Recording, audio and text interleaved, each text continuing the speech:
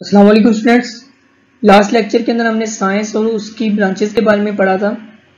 तो आज के लेक्चर के अंदर हम पढ़ते हैं सम एमिनेंट मुस्लिम साइंटिस्ट के जो से मशहूर मुस्लिम साइंटिस्ट हैं, जिन्होंने साइंस के अंदर अपनी जो से हैं, वो कंट्रीब्यूशंस की हैं, उनके बारे में हम देखते हैं। तो आज के लेक्चर में जो हम साइंटिस्ट देखेंगे, वो है मोहम्मद बिन मूसा अल ख्वारजमी ये 780 के अंदर पैदा हुआ था। 780 ईस्वी में और आठ सौ पचास ईस्वी में इसकी जो है वो डेथ हो गई थी। तो इसकी कंट्रीब्यूशन देखते हैं।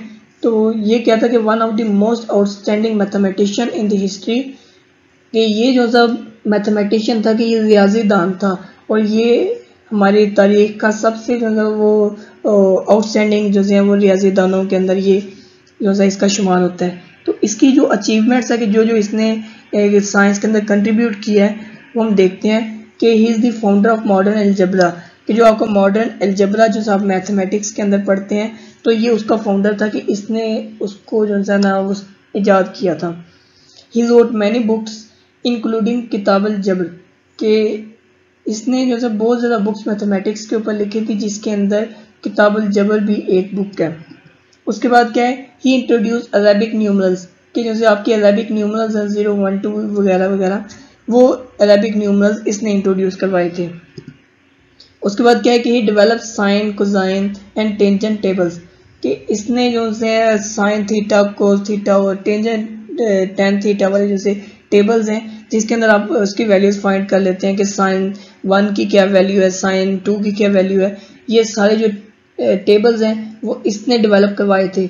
और उसके बाद क्या है कि इन टेबल्स को देन जो है वो वेस्ट के अंदर ही, जैसे वेस्टर्न कंट्रीज़ हैं, उनके अंदर इसे इन टेबल्स को ट्रांसलेट कर दिया गया था।